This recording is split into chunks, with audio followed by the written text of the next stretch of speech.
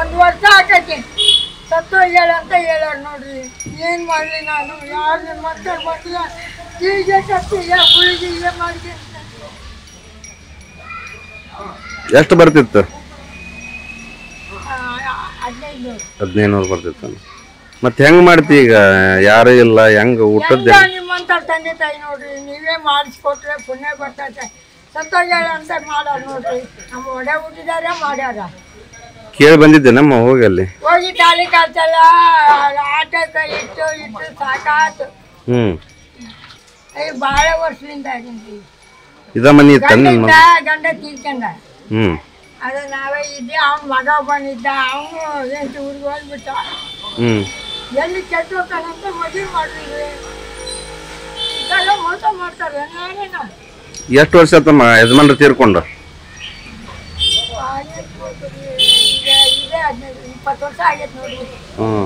ಹಾಂ ಇದೆ ಹದಿನೈದು ವರ್ಷ ಆಯ್ತಾ ಇವ್ರು ಹೋಗಿ. ಹ್ಮ್. ನಿನ್ ಮಗ ಹೋಗಿ? ಮಗ ಹೋಗಿ ಎಷ್ಟು ವರ್ಷ ಆಯ್ತು? ನೀನ್ ಬಿಟ್ಟು ಹೋಗಿ ಮಗ? ಹದಿನೈದು. ಹದಿನೈದು ವರ್ಷ ಆತ ಹಾಂ. ಒಟ್ಟ ಒಂದ್ ದಿವ್ಸನು ಬಂದ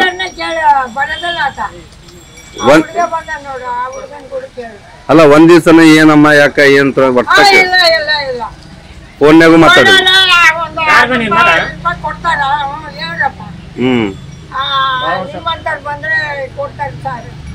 ಯಾರು ಇಲ್ಲ ನಮ್ಗೆ. ಈಗ ಹೆಂಗ ಅಡಿಗೆ ಹೆಂಗ ಊಟದ ಹೆಂಗ್ ಮಾಡ್ತೀವಿ ಮತ್ತೀಗ ಈಗ? ಮನೆಯಲ್ಲಿ ಸಣ್ಣ ಕೊಡ್ತಾರ ಹ್ಮ್. ಆ, ಅವ್ರು ಇಲ್ಲ. ಅವರೇ ಅಂತ ಬರ್ತಿದ್ರು ಹ್ಮ್ ಹ್ಮ್ ಹ್ಮ್. ಇಲ್ಲ ರೀ ಏನ್ ಮಾಡ್ಲಿ? ನೋಡ್ರಿ ನಮ್ಮನ್ನ ಸ್ವಲ್ಪ ಕಣ್ತಗ್ದು ವಯಸ್ಸು ಎಷ್ಟಮ್ಮ ನಿಂಗೆ ಈಗ?